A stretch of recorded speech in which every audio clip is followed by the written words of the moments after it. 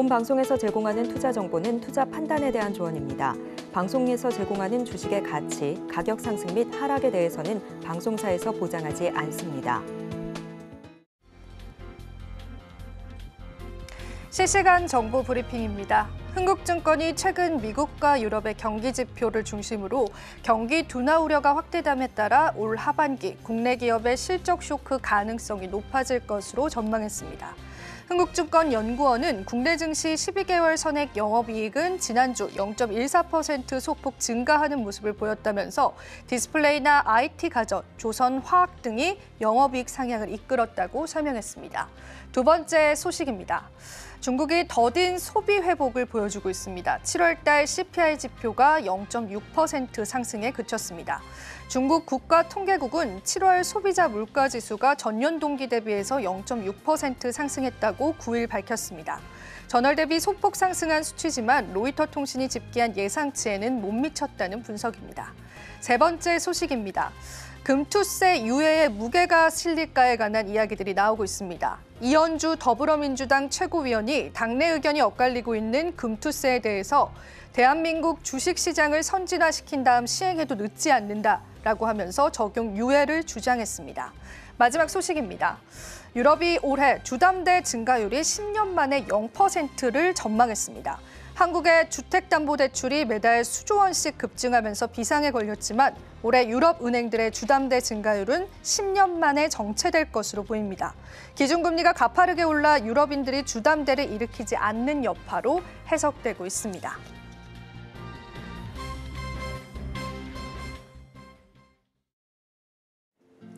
시청자 여러분 반갑습니다. 오늘장 내일장 2부에서 인사드리고 있습니다. 자, 국내 증시는 현재 낙폭을 축소해가는 흐름들 계속해서 이어져 오고 있고요. 여러 가지 테마군들의 상승세도 좀 눈에 띄고 있습니다.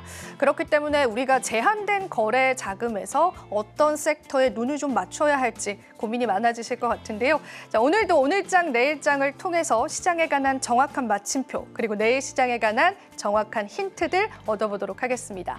자, 그 렇다면 현재 시간에서 어떤 종목군들이 가장 주목받고 있는지 조회 종목들 바로 한번 살펴보시죠. 네, 오늘 실시간 조회 상위 종목군들 살펴보겠습니다. 보시는 바와 같이 제약바이오 군들이 굉장히 많이 포진이 되어 있는데요. 알테오젠 같은 경우에도 오늘 시장에서 0.5%의 상승을 나타내면서 역시나 30만 2,500원에 거래되고 있습니다. HLB는 개별적인 이슈가 있었습니다. 미국 FDA에 추가 신청을 할 것이다라는 소식들이 좀 전해왔었죠. 그에 따라서 오늘 강세 나타내는 모습입니다. 5.27% 상승하면서 8만 9,900원에 현재 거래 거래되고 있습니다. 유한여행 같은 경우에는 오늘 하락세를 겪고 있는데 렉나자에 관한 이슈들이 이제는 더 이상 부각받지 않는 모습이다라는 이야기들이 나오면서 주가의 하방이 열려 있다라는 분석들이 많습니다. 현재는 3.82% 하락하고 있습니다. 자 그리고 대봉 LS와 셀룸에도 역시도 실시간 조회 종목에 랭킹되어 있는데요. 어, 시장에서 이제 다양한 섹터군들이 상승하고 있지만 또 전반적으로 이러한 제약바이오 관련주들이 조회 상위 종목으로 이끌고 있다라는 부분들 확인해 보실 수 있을 것 같습니다. 자 이렇게 해서 실시간 조회 상위 종목군들 저희와 함께 살펴보셨습니다. 자, 지금 시장에 변동성이 좀 예상이 되고 있기 때문에 오늘 전문가님과 다양한 이야기를 나눠보실 수 있을 것 같습니다. 같은데요. 자, 오늘장 내일장을 통해서 오늘 또 여러분들의 시장에 관한 고민들 해결해 드리겠습니다. 오늘장 내일장 2부 본격적으로 출발합니다.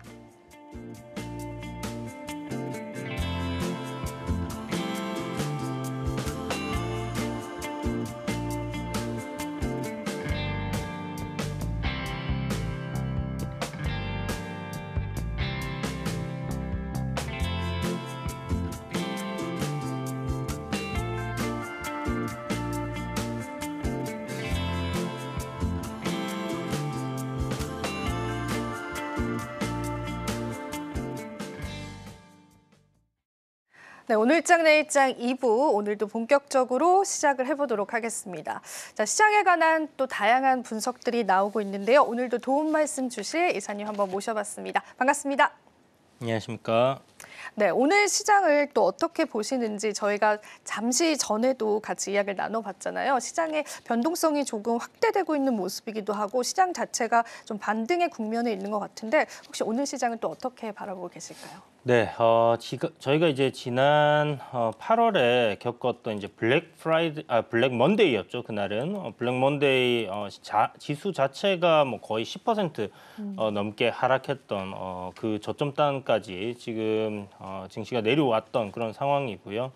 어, 그 급락장 이후 다음 날 어, 증시가 이제 어, 기술적인 반등이 나오면서 만들어놨던 어, 저점 가격단이 어, 대략적으로 2,490 포인트 정도였는데 오늘 시가가 어, 살짝 고위에서 출발했다가 저점을 형성하면서 이제 반등이 나와줬고요. 네. 선물단에서도 어떤 갭 구간이라고 할 수 있는 그런 위치에서의 일단 기술적인 반등이 잘 나와주고 있습니다.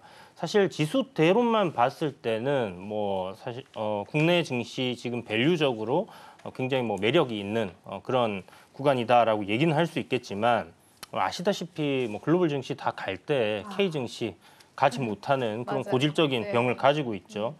어, 물론 지금 뭐 다양한 어, 이야기들이 있습니다. 금투세라든지 뭐 양도세 부분에서는 뭐 10억이 50억으로 이렇게 좀 상향된 부분이 있지만 결국은 그런 회피 물량들이 또 연말 가서 나오는 거 아니냐라는 얘기도 있고요. 어, 매년 지금 한 5년간의 데이터를 보면 어, 미 증시 같은 경우는 9월 달이 가장 안 좋은 달이었고요. 음, 맞아요. 네. 어, 국내 증시 같은 경우는 10월 달이 가장 안 좋은 달이었습니다. 네. 그래서 어, 10월 말쯤 사게 되면 어, 반등이 나왔던 거. 2022년도 어, 10월 말부터 증시가 저점을 찍고 반등을 했고요. 어, 2023년이죠. 작년 같은 경우 또 동일하게 어, 10월 말에 어, 시장이 반등이 나와줬습니다. 그래서 올해도 뭐 그런 비슷한 흐름들이 이어지지 않겠나라고 볼 수 있는 부분인데 뭐 과거 데이터가 계속해서 그렇게 맞아 들어가는 그런 상황들은 아니라고 생각이 들고요. 음, 여기서 이제 중요한 포인트는 결국 어, 금리 인하라는 부분인데 음. 어, 시장이 그동안 상승했던 부분들, 그러니까 물가가 잡히고 있고 어, 그, 금리를 올렸던 부분, 네. 금리 인하에 대한 그런 기대감을 안고 상승을 해온 거거든요. 그래서 실질적으로 이제 연준에서 이게 액션으로 들어갈 때 음.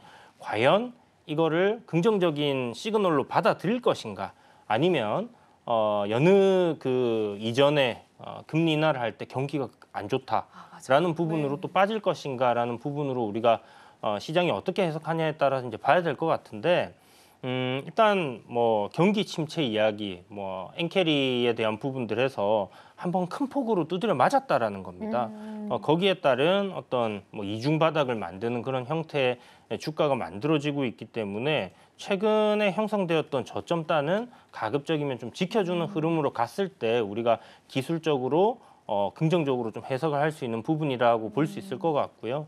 경기 침체 이야기가 계속 지금 나오고 맞아요. 있는데 네. 어, 8월 말에 나왔던 어떤 미국의 어, 성장률을 보게 되면 네.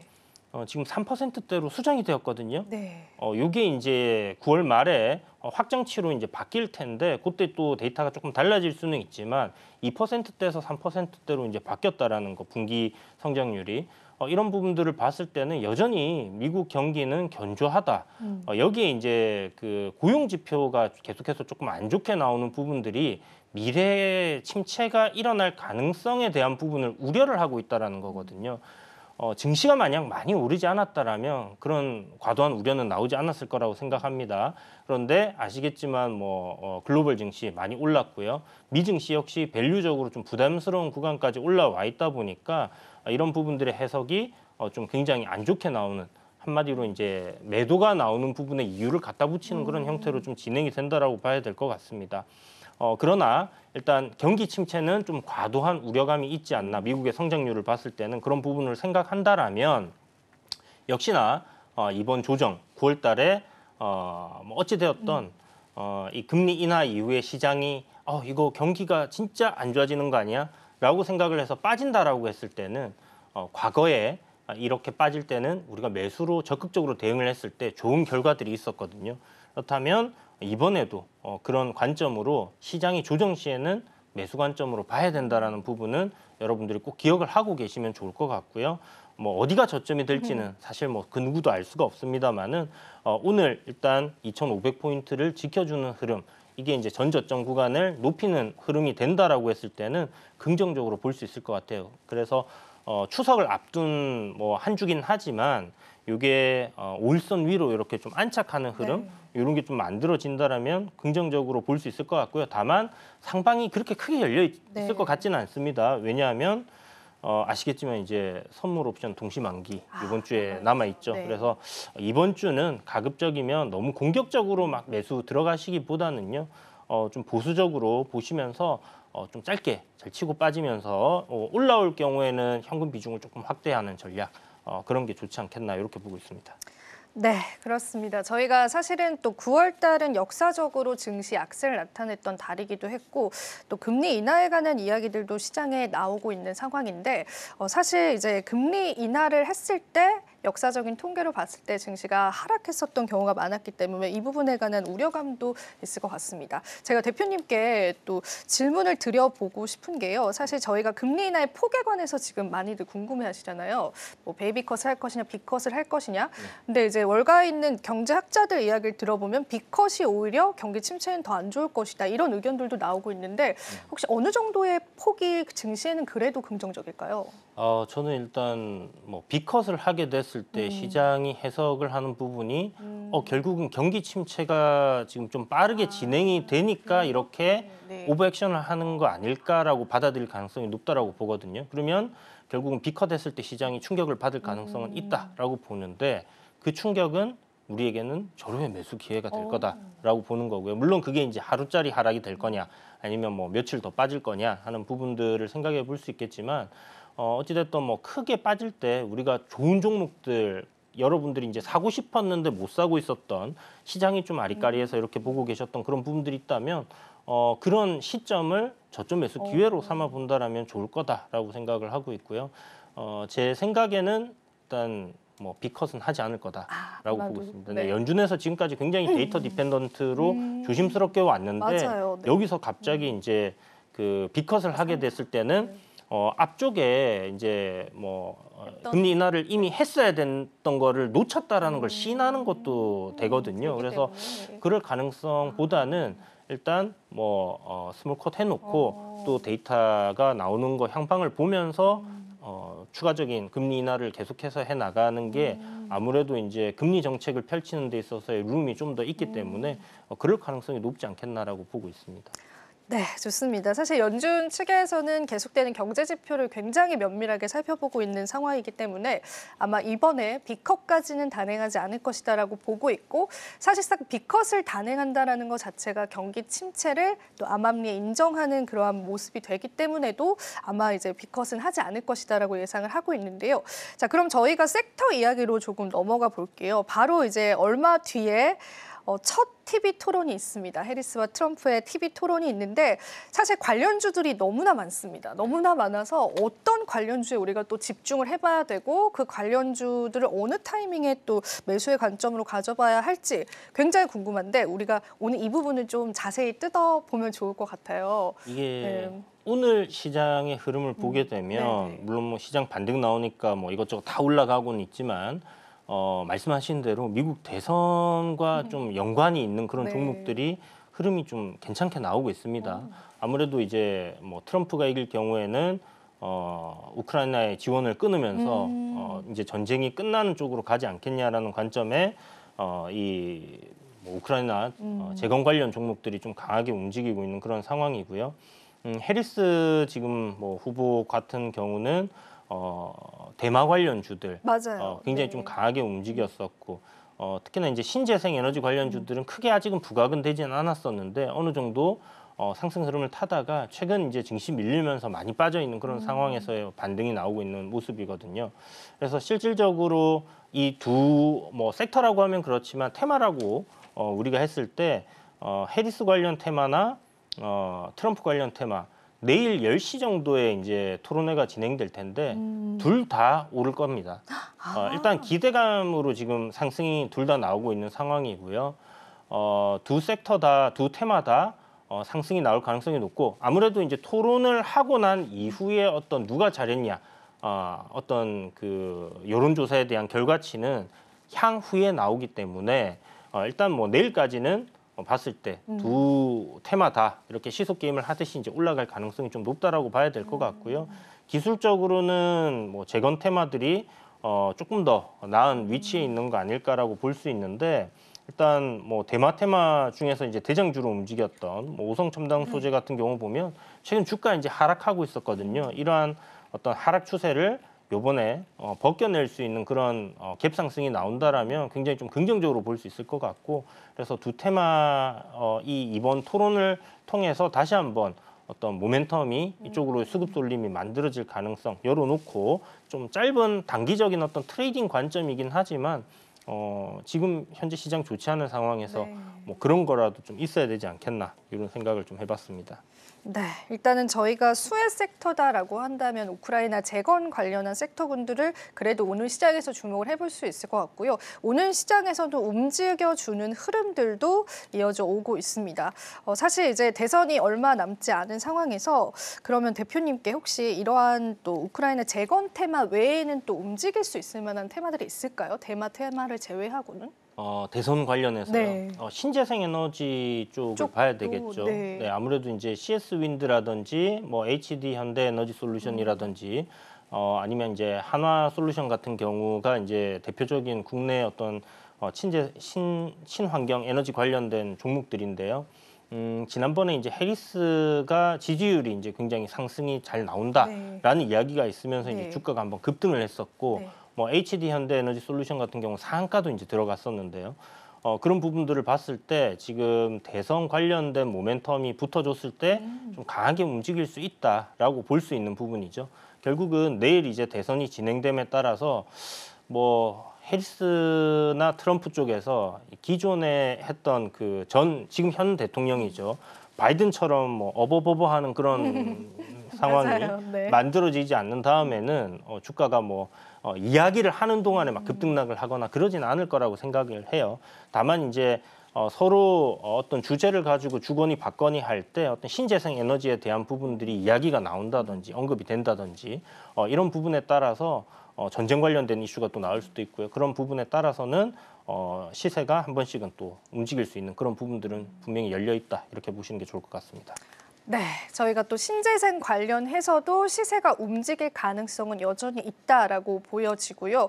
어, 저희 시장에서는 또 이렇다 할 이슈들이 하나 둘씩은 있는 상황이기 때문에 사실 섹터를 선택을 하는 것도 어려울 것 같습니다. 제가 여쭤보고 싶은 거는 앞서도 이야기를 나눴었지만 아이폰에 관한 이슈도 있고 또 시장에서 추가로 지금 제약바이오주에 관한 이슈들도 선별적으로 있는 상황이잖아요. 뭐 그런 관점에서 보신다면 어떤 섹터군들도 추가적으로 보면 좋을까요? 어, 지금 7월 달 들어서 어, 그 전부터 뭐 몇몇 종목들 리가켄 바이오라든지 네. 유한양행 그 다음에 아, 그렇죠. 뭐 알테오젠 이런 좀 삼천당 제약이라든지 굵직한 어, 뭐 헬스케어 관련 종목들이 신고가를 갱신하면서 네. 이제 움직이고는 있었지만 실질적으로 이제 7월 초부터 해서 이제 금리 인하가 거의 확정, 확정시 되면서 음. 이제 헬스케어 섹터들이 좀 강하게 움직였거든요. 어, 일단 현재 시장에 여전히 이 헬스케어는 주도주다라는 부분을 우리가 어, 인지를 하고 있어야 되는데 다만 여기서 약간 변화가 8월 말부터 조금 들어오는 게 아닌가라고 생각 드는 게 음, 결국 이제 2차 전지 섹터 좀 반등이 나오면서 헬스케어들의 추세가 살짝 꺾일 가능성이 음. 어, 보이고 있었단 말이죠. 네. 그리고 수급적인 부분에서도 기존에 이제 좋은 흐름에서 어, 차익 실현 매물들이 좀 나오는 그런 현상들을 우리가 보고 있기 때문에 어, 이 9월 달에 우리 추석 연휴가 끝나고 나면 실질적으로 이제 금리 인하가 들어갑니다. 네. 어, 이 금리 인하가 들어간다라는 기대감 때문에 헬스케어가 올랐는데 어, 금리 인하가 실질적으로 된다. 그랬을 때 지금 헬스케어 쪽은 꽤나 올랐기 때문에 여기가 또 sell on으로 어, 받아들여질 가능성도 열어놓고 봐야 되는 어, 그런 부분이지 않나라는 생각이 들고요. 어, 그래서 이, 이 헬스케어 쪽은 실질적으로 이제 뭐 다 같이 많이 올랐냐면 꼭 그런 건 아니거든요. 그래서 어, 지금 현재 진행되고 있는 뭐 다양한 학회들 어, 이런 이런 부분에 맞춰서 어, 주가가 상승 추세를 유지를 해주느냐 아니면 추세가 꺾이냐에 따라서 우리가 좀 대응을 어, 기민하게 좀 해야 되는 섹터다라는 부분을 좀 기억하고 계시는 게 좋을 것 같고 아시겠지만 뭐 좋은 이야기들 뭐 실적이 좋아지고 사이클이 좋고 어, value가 싸고 하지만 반도체 지금 주가 어떻게 돼 있습니까? 아, 많이 올랐기 때문에 많이 네, 빠져 있는 네, 거거든요. 네. 어, 그게 이제 결국은 상승하던 추세의 흐름이 꺾였을 때부터 우리가 대응을 하지 않았다라면 굉장히 힘든 시간을 지금 겪어야 되는 그런 상황일 거고요. 전력 설비도 오늘 뭐 반등이 굉장히 잘 나오고 있습니다만은 음, 고점 대비해서 지금 굉장히 어, 큰 폭의 하락을 보였거든요. 네. 결국은 이 추세가 꺾이는 거, 결국 방향성을 우리가 지금 잘 봐야 되는 어, 그런 시점에 놓여 있다라고 생각해 볼 수 있을 것 같고 어, 실적으로 시장이 올라가는 거는 어, 2023년, 2024년 어, 물론 실적이 좋으면 계속 올라갑니다만 계속 좋아지는 경우 실적이라는 그 모멘텀으로 장 이제 종목들이 올라가는 그 시기가 있어요. 그게 이제 우리가 실적 장세라고 하는데 이 실적 장세는 이제 끝나가고 있다라는 걸 인지를 해야 되는 거예요. 그래서 어, 어떤 유동성 장세로서의 이제 변화가 일어날 수 있는 그런 어, 과도기에 있다라고 봐야 될 것 같고 어, 실적의 어떤 뭐 스토리 이런 것들은 굉장히 이제 지난 지난 뭐 한 1년간은 계속해서 실적이 좋다, 수출이 좋다 하면 그런 쪽들이 쫙쫙쫙쫙 올랐겠지만 지금은 그런 것들이 굉장히 어, 좁아질 수 있다. 그 운신의 폭이 굉장히 좁아질 수 있기 때문에 어, 그런 부분들을 잘 기억하시고요. 어떤 기술적인 부분에서의 방향성이 이제는 꺾일 때는 어, 대응을 어느 정도 해주시고 보시는 게 좋을 것 같다 이렇게 말씀드릴게요. 네, 저희가 또 제약바이오주에 관한 전망대까지도 말씀해 주셨는데 또 기술적인 분석에 관해서도 함께 좀 이야기를 들어봤던 것 같습니다. 자, 대표님께서 또 시장을 하나하나 풀어주시니까 저희가 또 든든한 마음이 좀 들기도 하는데요. 어, 사실 오늘 시장에서 또 금융업종들도 좀 약세를 나타내고 있잖아요. 네. 어, 그래도 한 몇 주간은 시세 흐름이 나쁘진 않았었는데 또 오늘 시장에서는 좀 좋지 않더라고요. 금융업 쪽에 관해서는 어떻게 보실까요? 어, 뭐 여전히 긍정적으로 음, 혹시- 보고 있는 섹터긴 네. 한데 이제 네네. value up 관련해서 네. 어, 뭐 KB금융 같은 경우가 이제 대장격으로 이제 상승을 쭉 해왔었고, 근데 이게 좀 뭐 지금 생각을 해보면 신고가 행진을 쭉 이어가고 있었던 그런 흐름이었단 말이죠.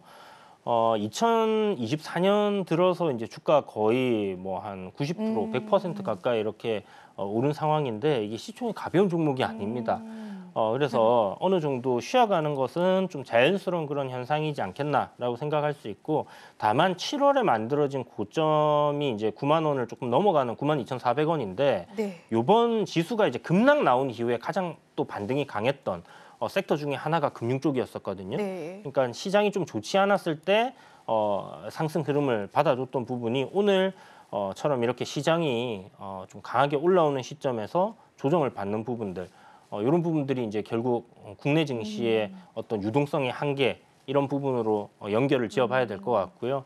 어, 결국 돈이 한정적이다 보니까 올라갈 종목들이 많다라면 많이 올라와 있는 것들에서는 차익 실현이 나오고 또 새로운 종목들이 이렇게 어, 시세 쏠림이 만들어진다라고 볼 수 있을 것 같은데 어, 어찌되었던 뭐 어, 금융주들 어, 밸류업은 지속될 것 같습니다. 네. 아까 말씀드린 것처럼 뭐 실적이 좋고 사이클이 좋고 뭐 이런 거 다 좋은데 방향이 꺾이면 어, 우리가 대응을 또 해야 되겠죠. 그래서 어, 현재까지는 뭐 크게 걱정하실 필요는 없겠지만 뭐 7만 뭐 KB금융 기준으로 7만 5천 원 정도가 이탈되는 흐름이 만들어졌을 때는 어, 그좀 조심해서 우리가 접근해 봐야 될 것 같고요. 하반기 뭐 배당에 대한 모멘텀, 뭐 주주 환원에 대한 어, 정책 확대되는 그런 부분에 대한 기대감은 여전히 있고 최근 장이 안 좋을 때 좀 상승했다라는 부분을 기억하신다면 어, 하락장에 좀 잘 버티는 그런 종목, 뭐 상승을 또 대단하게 여기서 노려보기는 조금 쉽지 않을 네, 것 같다라는 부분을 기억하시면 좋을 것 같습니다.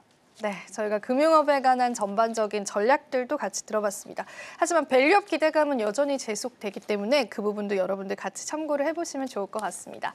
자, 그럼 저희가 이어서 거래대금 상위 종목군들 살펴보실 텐데요. 화면으로 우선 만나보도록 하겠습니다. 오늘의 거래대금 상위 종목입니다. 삼성전자가 랭킹되어 있습니다. 삼성전자 현재는 마이너스 1.89% 하락하면서 6만 7,600원 선에 거래되고 있는데요. 삼성전자 는 최근 리포트에서 하반기 실적에 관한 안 좋은 예상치들이 나오고 있습니다. 이러한 악재들이 반영이 된 것으로 보이고요. 블루엠텍 같은 경우에는 비만 치료제 관련주로서 오늘 시장에서 큰 급등세 나타내주고 있습니다. 13.39% 상승하면서 21,600원에 현재 거래되고 있습니다. 어, 퓨런티어 같은 경우에도 자율주행 관련주로서 시장에 부각을 받았었는데 오늘장도 그 상승 흐름 이어가고 있습니다. 1.24% 상승한 18,000원 부근에서 거래되고 있고요. 어, 그리고 이어지는 화성 밸브도 11.85%의 급등 양상 나타내고 있습니다. 최근 들어서 해외 유명 석유 회사들과의 대규모 공급 계약을 체결하면서 글로벌 시장에서 입지를 강화하고 있다라는 그러한 상승들 나오고 있고요. 대왕고래 테마 재부각되면서 여전히 주가 상승 탄력 이어가고 있습니다. 마지막으로 코데즈 컴바인인데요. 코데즈 컴바인은 유통 주식이 적은 품절주 중에 하나이죠. 이러한 품절주들 오늘 시장에서도 역시나 10% 넘는 상승률 보여주면서 1,570원에 현재 거래되고 있습니다. 자, 이렇게 해서 저희가 거래대금 상위 종목군들까지 살펴봤는데 대표님께서는 또 저희가 뽑아온 이 거래대금 상위 종목 중에서 좀 관심이 가는 종목이나 섹터군들 있으신지 좀 여쭤보고 싶습니다. 어, 사실 저기서는 관심이 가는 게 아, 하나도 하나도 없으신가요? 네. 어, 네. 이제 어떤 그 코데즈 컴바인이라든지 네. 이런 어 뭐 종목들 같은 경우 네. 품절주로 품절주. 알려져 있잖아요. 네. 그래서 장이 안 좋을 때 뭐 신라섬유라든지 뭐 어, 양지사라든지 이런 품절주들과 함께 맞아요. 어느 정도 우리가 trading 관점에서 좀 접근하는 그런 종목이고요. 사실 거래 대금이 뭐 대단하게 또 터졌냐 하면 어 그렇지도 않아요. 그래서 어 현재 저기서 뭐 삼성전자 정도 뭐 조금 어 그리고 어 뭐 블루엠텍 정도 우리가 어 이렇게 좀 지켜볼 수 있는 종목이다라는 생각이 들고요. 삼성전자 같은 경우는 일단 뭐 전저점을 지금 깨고 계속 내려가고 있는 아, 상황이잖아요. 네. 음, 삼성전자가 올라줘야 국내 증시가 좀 시원하게 갈 텐데 네. 어, 지금 아직 뭐 qual test, qual test에 대한 이야기 뭐 계속 풍문만 돌고 있고 뭔가 네. 실질적으로 어, 깔끔하게 나오는 그런 이야기들이 없어서 이런 부분이 좀 아쉽고요. 어, 지금 반도체 피크아웃 이야기가 골드만삭스였나요? 모건 스탠리에서 네, 한번 나왔었죠. 네, 어. 그게 이제 나오면서부터 반도체 섹터들이 좀 쭉 밀리는 어, 현상들을 보여주고 있는데 어, 뭐 떨어지는 칼날 우리 잡지 말자 이런 네, 얘기도 맞아요. 있습니다. 그래서 어, 좀 단기적인 성향을 가지신 분들은 뭐 이런 종목들 사실 뭐 무겁기도 하거니와 음, 가격적인 메리트는 들어왔지만 이게 뭐 돌려서 빠르게 돌아갈 종목은 아니기 때문에 어떤 뭐 자산의 삼성전자라는 어떤 기업의 가치를 보고 투자를 하시겠다 하시는 분들께서는 뭐 가격적인 메리트가 좀 더 들어왔을 때 분할로 접근은 가능하겠지만 어, 보지 않는 게 어, 일단은 뭐 반도체 섹터는 보지 않는 게 현명하지 않겠나 이렇게 좀 생각을 하고 있고요. 음, 지금 블루엠텍 같은 경우는 앞서 이야기해 주셨던 것처럼 오늘 대봉 LS가 비만 치료제 관련 주 중에서 이제 대장으로 어. 상한가 네. 신고가로 이제 갱신을 했습니다. 어, 굉장히 이제 좀 강한 저항 가격대를 한 2만 500원 정도 가지고 있었는데 어, 이게 어, 사실 쉽게 뚫지 못할 거다라고 봤던 구간이었는데 오늘 어, 뉴스와 함께 이런 구간을 굉장히 강하게 뚫어주면서 이제 상한가에 들어갔기 때문에 이 비만 치료제 관련 주들 오늘 다급등을 하고 있는 상황이고요. 어, 블루엠텍 같은 경우는 이제 유통 관련된 어, 의약품 유통 관련된 기업이죠. 그러니까 이제 국내에서 이런 거 출시하게 되면 어, 유통을 담당하게 되니까 그에 따른 어떤 수혜가 있을 거다라는 관점에서 뭐 추세적인 상승 흐름을 좀 유지하고 있다라는 부분에서 만약 비만 치료제 관련 모멘텀이 어, 국내 출시 전까지 계속된다라고 했을 때는 어, 뭐 한번 눈여겨 볼 만한 그런 종목으로 생각할 수 있을 것 같습니다. 여기 비만 관련 종목들이 실질적으로 꽤나 많아가지고 맞아요. 어, 아마 돌아가면서 시- 아, 뭐 상승이 나올 예, 수 상승이 나올 가능성은 오. 상당히 좀 있지 않나 이렇게 봐야 될 것 같고요. 어, 오늘 보면 지금 뭐 DX, VX라는 뭐 종목인데 사실 시총도 워낙 작고 음. 어, 이게 실질적으로 어떤 비만과 연관이 있나라는 생각이 드는 그런 부분들의 종목들도 지금 다 같이 올라요. 그래서 어떤 테마주라는 부분은 결국 이제 실적 과는 무관하게 어떤 모멘텀을 받았을 때 기존의 시세가 강했던 종목들이 또 다시 한번 강하게 움직이는 그런 특성이 있다라는 부분들을 좀 생각하셔서 보시면 좋을 것 같고 경구용 뭐 비만 치료제 이런 것들도 오늘 굉장히 강하게 움직이던데 일단 비만 쪽은 출시가 이제 거의 확정시 되었기 때문에 출시 뭐 며칠 전까지 예, 모멘텀은 좀 지속될 어. 가능성 있다. 이렇게 보고 보시면 좋을 것 같아요. 네, 오늘 비만 치료제 관련주들 강세를 나타내고 있는데 출시 전까지는 이러한 모멘텀이 지속될 가능성이 있다라고 여러분들이 챙겨 보시면 좋을 것 같습니다. 자, 그럼 또 대표님께 저희가 이제 코스닥 대형주 단으로 좀 가볼게요. 에코프로 그룹주들에 관해서 최근에 주가 약세를 좀 나타내고 있는데 전망들은 좀 어떻게 보시는지 궁금합니다. 어, 2차 전지 관련해서 지금 뭐 업황의 어떤 데이터라든지 이런 부분들이 돌아서 는 부분을 확인해야 된다 이런 이야기들이 많아요. 네. 어, 실질적으로 지금 뭐 나오는 이야기들은 정말 최악인 상황이고 네. 어, 바닥을 이제 계속 그 전저점을 깨면서 저점을 계속 낮춰가고 있는 주가의 흐름은 굉장히 우리가 부정적으로 볼 수 있는 추세 하락이 지속된다라는 부분을 생각할 수 있거든요. 그런데 이제 에코프로 에코 그룹의 어떤 그 어, 주가 흐름과 좀 상반되게 움직이는 섹터가 바로 셀 3사라고 볼 수. 있습니다. 네. 그 중에서 이제 어, LG 에너지 솔루션 같은 경우가 최근에 어, 주가 굉장히 강하게 반등이 그래도, 나와주고 네. 있는 그런 상황인데요. 음, 일단 소재 관련된 기업들 같은 경우는 완제품이 잘 팔려야 거기에서 뭔가 수주를 더 받아서 음. 맞아요. 어, 이렇게 좋아진다라는 부분들을 우리가 생각한다라면 결국은 이제 셀 3사가 음. 향후 전기차 판매 확대에 따른 어떤 어느 정도의 이제 그 실적을 보여주느냐 여기에 따라서 어, 뭐 소재 관련 종목들도 좀 움직임이 나올 거고요. 다만 이제 소재 쪽은 어, 리튬 가격이라든지 이런 메탈 가격들이 지금 원체 좋지 않기 네. 때문에 이게 돌아설 기미를 보이고 있지 않기 때문에 그런 부분에서 쉽게 지금 추세 전환을 하기는 어, 어려울 거다 이렇게 좀 보여집니다. 하지만 어, 지금 금리 인하 시점이잖아요. 금리 인하 어, 시점에는 성장 주 단을 더 상승이 이제 나오니까. 사람들이 더 보기 그렇죠? 때문에 네. 그런 구간에서 이제 2차 전지 섹터라는 부분 자체는 여전히 어, 향후 성장이 계속해서 어, 기대되는 그런 곳이기 때문에 음, 우리가 예의주시하면서 이런 부분들의 어떤 변화가 들어오는지 수급적인 부분에서의 뭐셀 3사처럼 어떤 변화가 들어오는지를 어, 보면서 접근을 해야 될 것 같고요. 떨어진다고 계속 사는 거는 음. 어, 좀 쉽지 않을 것 같다. 아. 그렇게 봐야 될 것 같습니다. 네, 2차 전지 소재 관련주들도 엇갈린 양상들을 보여주고 있는데 우리가 저가 매수의 기회로 볼 수 있느냐가 사실 투자자분들이 가장 궁금해하시는 부분인 것 같습니다. 하지만 저가 매수의 기회로 보기에는 아직까지는 좀 챙겨봐야 할 여러 가지 또 이유들이 있을 것 같습니다. 그래서 그 부분들까지 챙겨보시고 실적적인 부분들 또 뒷받침 되는지도 같이 살펴보셔야 될 것 같습니다. 자, 그럼 이런 시장에서 또 대표님께서는 어떤 섹터군들을 그래도 조금 우리가 관심 있게 보면 좋을까라고 생각을 하시는지 그 네. 부분도 한번 이야기 들어볼게요. 어, 일단 금리 인하 수혜주를 좀 찾아봐야지 음, 되지 싶어요. 네, 네. 아무래도 이제 시장에 큰 변화기 때문에 그 변화에 수혜를 입을 수 있는 어, 부분들을 봐야 될 것 같은데 금리 인하를 하게 됐을 때 이제 좀 달러가 약세로 갈 수 있다라는 부분하고 어, 지금 뭐 엔캐리부터 해서 어떤 환율의 좀 급격한 변화가 한번 찾아왔었거든요. 네. 어, 지금 일단 단기적인 뭐 하락에 따른 반등이 나올 수 있는 어, 원화 강세가 조금 주춤해질 수 있는 그런 구간이긴 합니다. 아마 이번 주, 다음 주 뭐 해서 어, 원화 강세가 조금 약해지는 1,360원대까지는 반등이 나올 수 있을 것 같은데 어, 그런 흐름이 나온다라면 어, 이와 관련된 어, 관점으로 우리가 이제 그 환율 수혜주들 아니면 이제 금리 인하 수혜주들이라고 생각해서 좀 접근을 해볼 수 있는 섹터를 보고 있고요.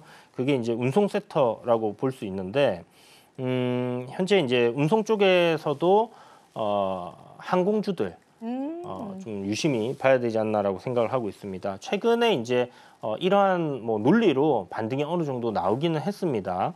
어, 일단 뭐 원화가 어, 천- 거의 1,400원 가까이 하다가 지금 꽤나 어, 조정이 나와 있는 상황이고 여기에 대해서 유가가 지금 어, 아까 제가 들어오기 전에 확인했을 때는 68달러 정도 하고 있었거든요. 어, 최근 들어서 이제 70달러를 깨고 단기적으로 하락 추세로 이렇게 내려가고 있는 상황인데 유가의 박스권 하단 자리는 63달러 부근이 됩니다. 어, 그 정도 가격단까지는 뭐 대선 전까지 지속적으로 좀 내려올 가능성 높지 않겠나라는 생각이 들고요. 어, 아까 앵커님께서도 이제 시작할 때 브리핑에서 중국의 성장이 이제 더디다라는 이야기를 해주셨는데 네. 어, 그런 흐름으로 갈 경우에는 뭐 유가가 어, 뭐 다시 한번 돌아서 강하게 갈 가능성은 굉장히 낮지 않나라고 봐야 되는 부분이죠. 어, 물론 오펙에서의 어떤 추가적인 감산이라든지 이런 부분들이 나오면서 유가를 받칠 가능성도 있지만 지금 현재 육, 어, 원유 최대 수, 수출국은 미국이거든요. 네. 미국에서 이 에너지를 계속해서 어, 뭐 수출하는 상황에서는 이게 쉽지 않 쉽게 해결될 가능성은 없다라는 생각이 들고 특히 대선을 앞둔 시점에서 유가가 급등할 가능성은 거의 없다라고 보고 있습니다. 그래서 어, 이런 부분에 초점을 맞춰서 본다라면 뭐 항공주들 같은 경우는 어, 고정 비 중에 가장 크게 차지하는 부분이 결국은 이 어, 연료 관련된 부분, 어, 젯퓨일이라고 하는데 항공유가 되겠죠. 이 항공유가 이제 어, 7월 달에 한 100달러 위에 이렇게 있었는데 지금 음, 요번에 이제 8월 달 들어서 지속적인 하락을 어, 이어오고 있는 상황이고요. 어, 현재 뭐 90, 어, 2달러 정도 어, 배럴당 이렇게 내려와 있는 그런 상황입니다.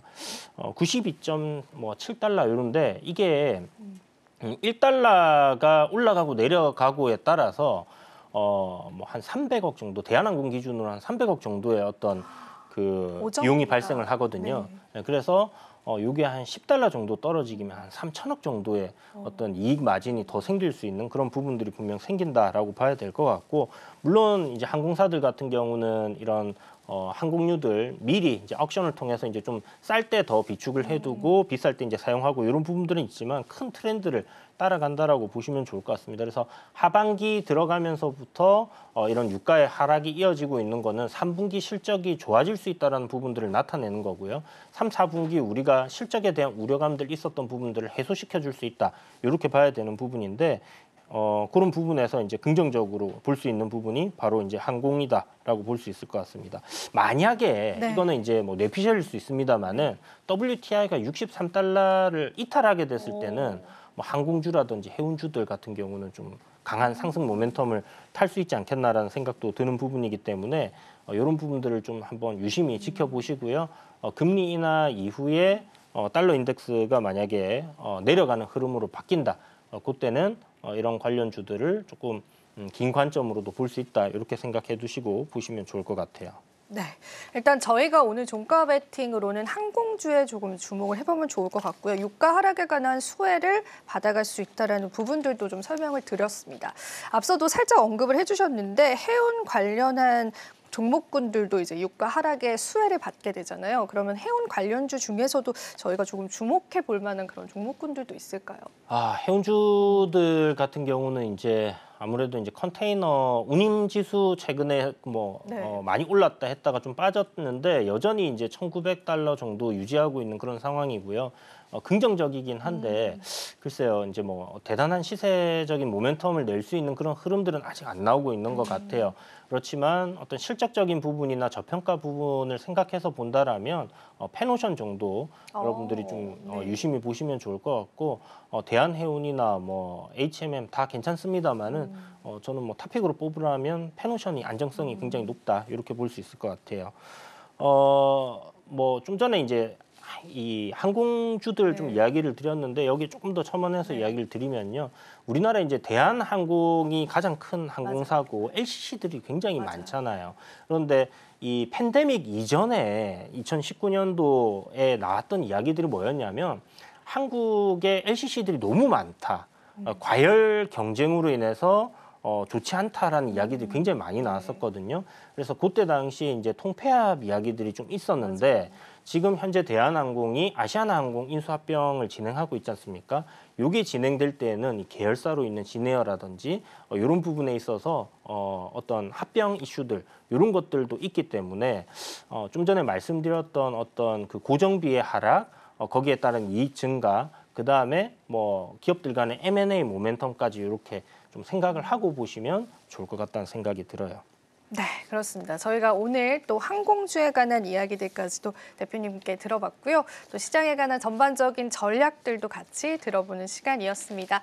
자, 오늘도 또 어려운 시장 도움 말씀 주신 대표님께 감사 인사 드려보겠습니다. 대표님 고맙습니다. 감사합니다.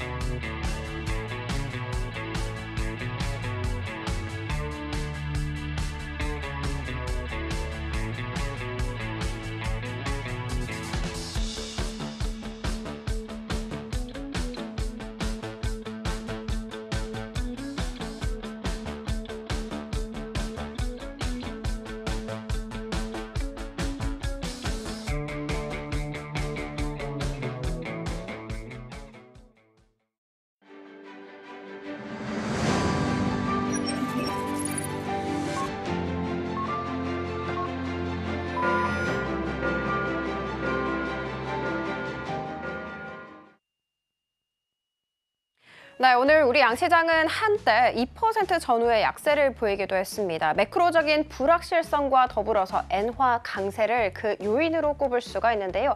특히 엔달러 같은 경우에는 장중한 때 141엔까지 깨고 내려가면서 3개월과 비교했을 때는 거의 10% 가깝게 내림세를 보여주는 모습이었습니다. 그럼에도 불구하고 전약 후강의 모습을 보이면서 우리 양시장 문을 닫았는데요. 오늘 우리 양시장은 정확히 어떻게 마감이 됐을까요? 볼까요? 네, 말씀해주신 것처럼 엔화 강세에 따른 엔캐리 트레이드의 악재는 여전히 시장에 존재하고 있습니다.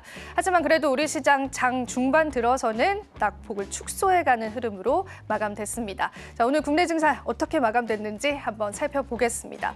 코스피 코스닥 지수 혼조 양상을 보여주는 흐름이었는데요. 코스피 지수 같은 경우에는 현재 2,535포인트에서 마감을 지었고요. 코스닥 지수는 그래도 1% 넘는 상승을 보여주면서 714포인트에서 마감 지었습니다. 다만 외국인들이 코스피의 시가총액 상위 종목군들을 여전히 매도하고 있다라는 게 지수의 하방 압력이 더 열려 있다라는 해석을 해볼 수 있겠습니다. 자 그렇다면 이 코스피 시장에서 어떤 업종들이 또 주목을 받았는지 코스피 상승 업종들 살펴보겠습니다. 어, 먼저 첫 번째로는 오늘 건설 업종이 전반적으로 상승하는 흐름들 보여줬는데요. 삼부토건 같은 경우에도 현재 대형 프로젝트가 성 공적으로 수행했다라는 소식들이 전해지면서 8%의 급등세를 나타냈고요. 코오롱 글로벌도 11%의 급등세를 나타내기도 했습니다. 보시는 바와 같이 대왕고래 프로젝트 관련주들이 시장에 강세를 나타내는 모습들 확인을 해보실 수 있을 것 같습니다. 코오롱 글로벌도 3% 넘는 상승세 보여줬고요. SC 엔지니어링 같은 경우에는 최근에 경영권 매각에 관한 이슈들이 있었습니다. 오늘장에도 2% 넘는 상승률 보여줬습니다. 자, 다음 상위 업종들도 한번 살펴보실 텐데요. 운수 장비 역시도 오늘 시장에서 강세를 나타내는 흐름들 보여줬습니다. SJ 글로벌 같은 경우에는 기관이 3거래 연속 현재 매수하고 있는 시점인데 오늘 시장에서 7% 넘는 상승률 보여주면서 2,640원 선 터치했습니다. 한국 무브넥스 5.49% 상승했고요. S&T 모티브와 같은 자동차 관련 업종들도 오늘 시장에서 상승을 나타내면서 4.87%의 상승률 나타내고 있습니다. 핸즈코퍼레이션도 4.55%의 상승률 나타내면서 전반적으로 운수 장비 업종들 상승하는 흐름 보여줬습니다.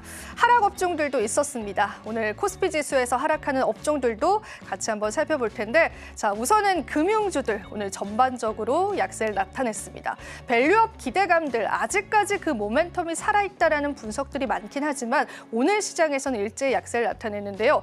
특히나 정부에서 최근에 주택담보대출에 관한 규제를 조금 더 조여오겠다라는 발표를 했습니다. 이 부분이 전반적인 금융업종, 은행업종의 악재를 불러온 것인데요. 그럼에도 불구하고 일각에서는 은행의 영업이익의 일부분에 속하기 때문에 일시적인 하락에 불과할 것이다라는 리포트도 나오고 있습니다. 삼성카드 4% 하락했고 DB손해보험, 현대해상 모두 4%, 3% 하락했고요. SK증권 우선주와 한양증권 우선주도 3.14% 하락했습니다. 자, 다음 하락 업종도 바로 한번 살펴보겠습니다. 전기전자 업종도 오늘 하락하는 흐름들 보여줬는데요. 어, 일반적으로 전기차 관련 주들도 오늘 시장에서 약세가 두드러지는 모습 나타냈습니다. 포스코 퓨처엠 4.63% 하락하는 흐름 나타냈고요. 사마전자 역시도 2.20% 그리고 세방전지도 2.13% 하락하면서 전반적인 전기 전자 업종들 시장에서 하락하는 모습들 보여줬습니다. 자, 혼조 양상을 보여주고 있었던 시장이었고요. 섹터 단에 어느 정도의 우리 가 집중을 해볼 수 있을까에 관한 고민도 생겨나는 것 같습니다. 자, 그렇다면 코스닥 시장으로 넘어가서요. 오늘 코스닥 시장 흐름 어땠는지 한번 이야기 들어볼까요? 네, 일단 오늘 코스닥 같은 경우에는 장중한 때 700선이 깨지는 모습을 보이기도 했지만 전형적인 전약 후강의 모습을 보이면서 1%대 상승으로 마감을 할 수 있었습니다. 상승을 이끈 쪽은 제약바이오다라고 해도 과언이 아닐 정도였는데요. 드디어 오늘 미국의 생물보안법 표결 절차를 밟을 예정입니다. 앞으로 조금 더 지속적으로 상승세를 보여줄 수 있을지 저희 방송 통해서 확인하시기 바라겠고요.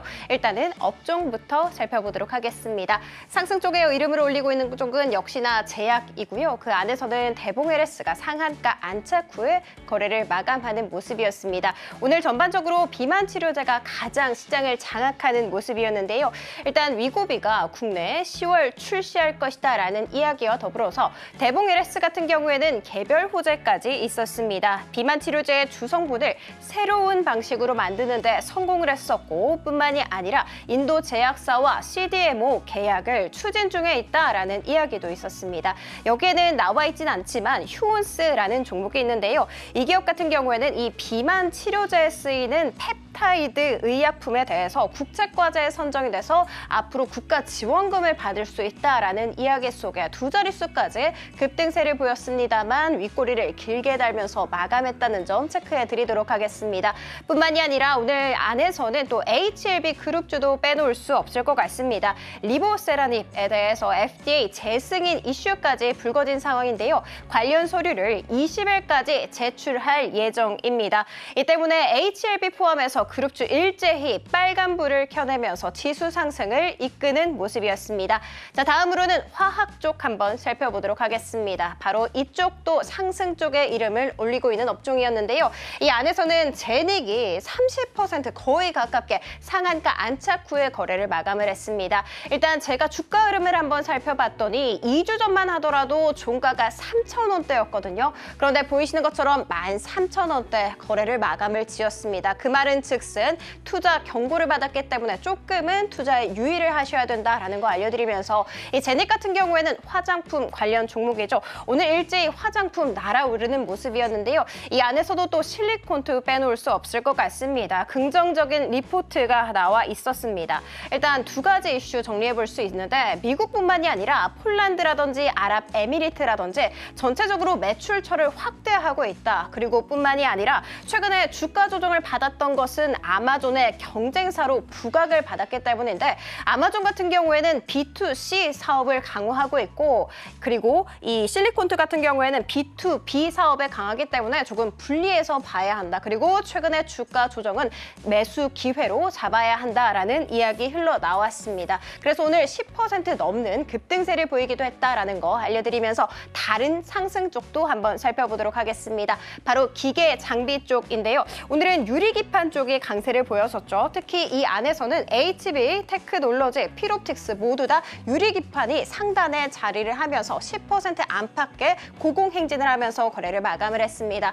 어떤 이슈 있었나 살펴봤더니 삼성전기, LG 이노텍 이렇게 국제한 유리기판 사업을 하는 업체들이 행사에 참가를 해서 관련 기술과 시제품을 선보였다라는 이야기였습니다. 앞으로 유리기판 같은 경우에는 최근에 시장에 관심에서 조금 멀어졌다가 오늘에서야 주목을 받았거든요. 조금 더 추가 상승할 수 있을지는 함께 지켜보시면 좋을 것 같습니다. 자 그리고 마지막은 하락 쪽도 한번 살펴보도록 하겠습니다. 일단 일반 전기전자 업종 전반적으로 약세를 보이는 모습이었는데요. 특히 최근에 PPI 같은 경우에는 양자 암호로 새롭게 부각을 받으면서 지난 금요일까지도 급등세를 보여줬습니다만 오늘 보이시는 것처럼 8% 가깝게 고꾸라지는 모습이었습니다. 이 안에서는 엘컵텍 같은 경우에는 5%대 내림세를 보인 것으로 나타났는데 아이폰 이슈도 또 있었음에도 불구하고 대표적인 부품 관련 종목인 이 엘컴텍은 내림세를 보였다라는 거 체크해 드리도록 하겠습니다. 이번 주에도 너무나도 많은 대형 이벤트들이 있습니다. 당장 미국 대선 토론을 포함해서 아이폰 16 공개도 있고요. PPI, CPI 모두 다 이번 주에 발표가 될 예정입니다. 증시가 등락을 반복하지 않을까라는 우려스러운 마음속에 우리 증시 우리 방송과 함께 하시면서 이기는 전략 세워가시기 바라겠습니다. 네, 이렇게 해서 코스닥 지수까지 마무리 지어봤습니다. 이번 주에도 매크로적 변수가 될 수 있는 일정들도 남아 있고요. 시장의 모멘텀이 될 수 있는 이벤트들도 있는 만큼 다양한 전략들 저희와 함께 챙겨보시면 될 것 같습니다. 자, 마지막으로 본 방송에서 제공하는 정보는 투자 판단에 대한 조언일 뿐입니다. 가치 판단과 상승 하락 보장하고 있진 않다라는 점 유의 부탁드리고요. 저희는 내일 이 시간 더 좋은 모습으로 찾아뵙도록 하겠습니다. 오늘도 시청해주신 여러분 고맙습니다.